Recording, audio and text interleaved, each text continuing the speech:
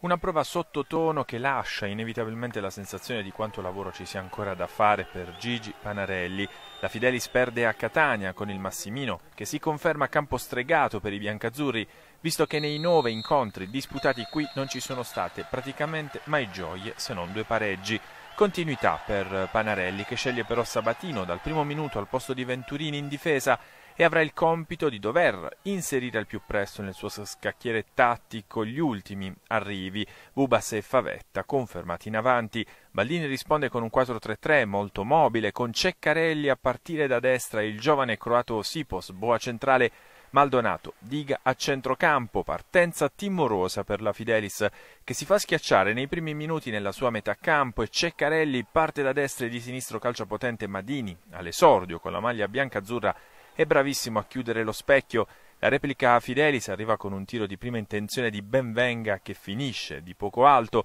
ma è dalla destra che il Catania riesce a penetrare con più continuità nella difesa andriese, meno granitica del solito. Otto minuti e sempre Ceccarelli inventa per Sipos che imbuca la retroguardia Fidelis e batte Dini in uscita. È il gol di casa con il Catania che prova subito a legittimare il vantaggio con un calcio di punizione di Russotto direttamente sul fondo, ma dopo 20 minuti di sofferenza la squadra di Panarelli prova a rimettersi in corsa e lo fa con Casoli che si mette in proprio e dopo una lunga corsa calcia dal limite. Troppo centrale per impensierire Stancampiano cambio immediato prima della mezz'ora per il tecnico Fidelis non soddisfatto dei suoi che sceglie Di Noia in campo al posto di Buona Volontà meno in palla delle scorse prestazioni. Al 34esimo l'occasionissima Fidelis per pareggiare i conti. E bravo ben venga ad arrivare sul fondo da destra e a servire per Buba su un pallone delizioso che l'attaccante schiaccia però troppo di testa a poca distanza da Stancampiano che controlla facilmente, premono sull'acceleratore nel finale di prima frazione i biancazzurri,